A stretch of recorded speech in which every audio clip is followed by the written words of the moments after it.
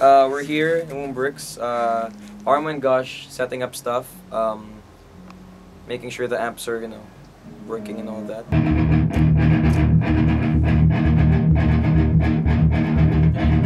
Thanks to JB for the amps.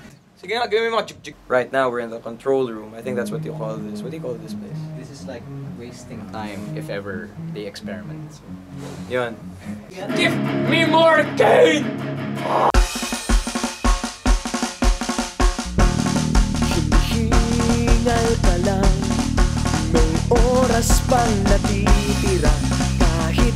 Parang ang pa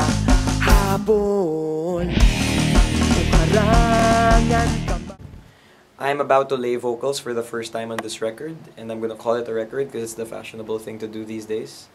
Um, however, I will zoom back into my old self and say that I'm gonna sing in this album for the first time.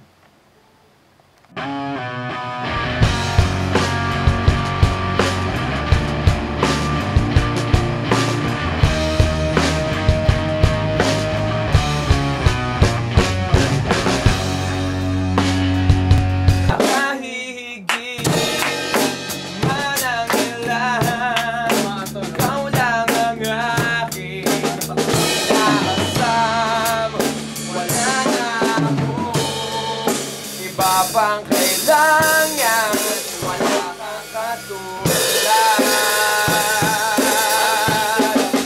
Gusto ko yung album na to. It shows a lot of growth, but uh, it keeps its feet on the ground.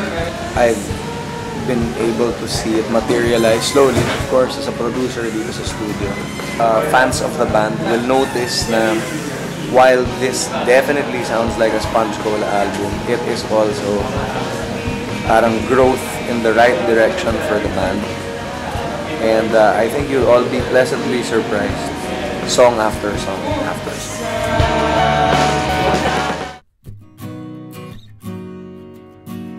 Midway through recording, Armo is laying in a couple of guitar tracks. We have a lot of friends here, and uh, we're gonna be they're gonna be singing for uh, a certain song.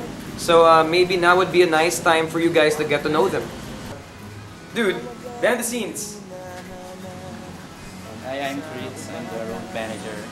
I'm here to sing. I am Dong. I'm the live sound engineer of Sponge I'm here to sing. Uh, my name is Leon. I've been with the band ever since high school, even before they named themselves Sponge Cola.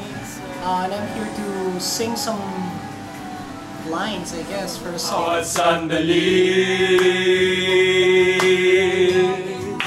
Aking mga labi Sarili sa musika